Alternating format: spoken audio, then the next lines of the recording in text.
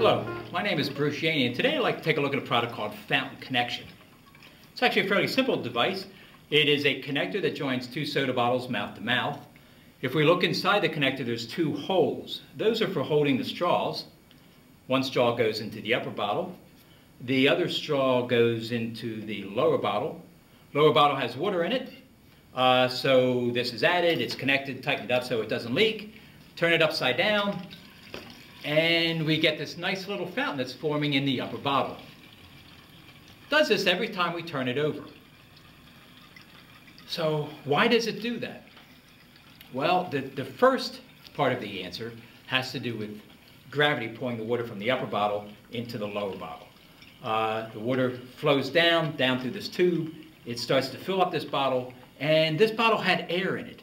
The air's got to go somewhere, and so it's actually being slightly compressed and driven upwards, and it goes up through this tube up here. Now, the upper bottle had water in it, and the water is leaving the space, reducing the air pressure inside up here, and so that is also helping to pull the air from down here up into the upper bottle to take the place of the water that's leaving. Now, either one of those factors is enough to actually make the fountain take place. For example, if I turn it over and I unscrew the bottom bottle, the fountain's still taking place up here.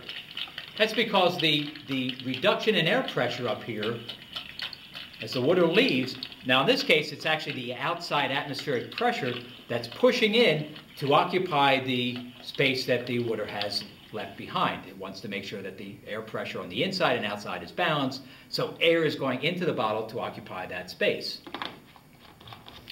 Uh, in, the, in the other case, if we take a look at what's going on in the lower bottle, uh, in this case I've cut off the top of the upper bottle, and if I add water to it,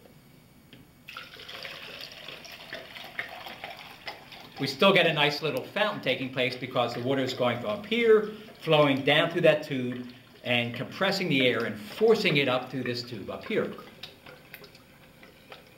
Now, if I were to add water and unscrew this, let's see what happens then.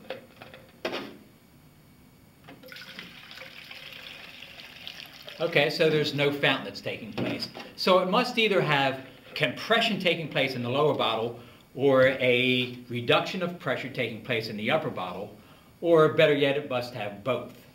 Um, but that's still not answering why do we get the fountain? Why do we get the fountain? Well, in that case, what we need to do is go back and take a look at the connector in the tubes itself. Uh, if we pull one of the tubes out of here and I look at this very closely, what I see in the tubes are these little holes that have been drilled uh, right before they go into the connector. And they're being held by the connector.